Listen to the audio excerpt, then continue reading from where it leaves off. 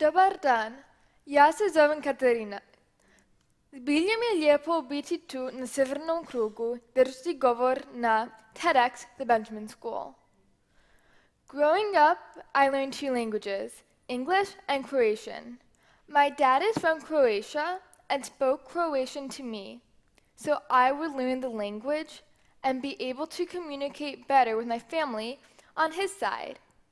People often think that our first language, or the language we know best, is the most important. When we get mad, dream, think, or are in danger, our subconscious takes control. The language that you learned first or feel more comfortable in the language that your subconscious will revert to. I like to think of this language as the language of our heart and soul.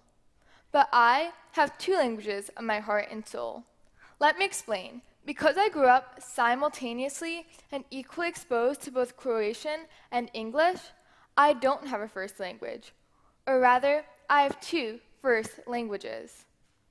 One time, I talked in my sleep, and my cousin woke me up and told me I was mumbling something in a mixture of Croatian and English. When my subconscious takes control, or when I get really mad, it's anyone's guess whether what I say will come out in Croatian, Dosta mi je, jak sam ljuta, or English, seriously?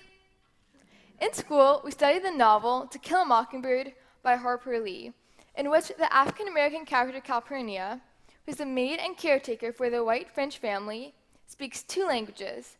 But unlike me, both her languages are forms of English. There's African American English and the dominant American English. Calpurnia, Calpurnia, taught by her employers, knows how to speak the dominant American English and use what we usually refer to as good grammar. She can read and write well. When she gets mad, however, she reverts back to her first language.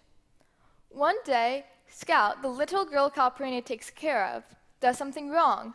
Calpurnia, furious, yells at Scout in African American English.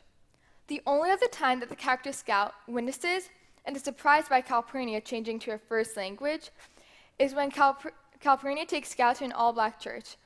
Scout and her brother Jem ask Calpurnia why she's speaking the wrong way. Calpurnia chooses language based on setting. Sometimes she uses the wrong language in the wrong place, like when she yells at Scout in the home with finches. Calpurnia was taught that first language, African American English, was incorrect. This relates to the TED Talk, Three Ways to Speak English, by Dr. Jamila Lyiscott.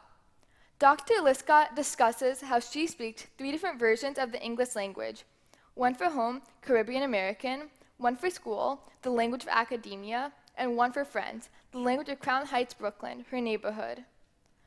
Like me, Dr. Lyiscott learned all of her languages at once because she grew up speaking all three. So, therefore, like me, she does not have a first, second, nor third language so not one is closer to her heart than another. Dr. Lyiscott explains how it is important to treat all your languages equally and not think of one as a first or one as a second. I differ from Calpurnia that she was taught that our first language was incorrect and that the language she should speak, the correct language, is American English. By speaking in proper English, Calpurnia can't truly speak from her heart. I, like Dr. Lyiscott, in all my uses of language are equally important to me. Whether I'm speaking English, Croatian, the colloquial English I use with my friends, or the academic language I use in class, not one of these languages solely defines me. I'm a product of all these languages combined. So I'd like to conclude by saying, Hvala vam puno i budite ponosni na vašem jezike. Thank you.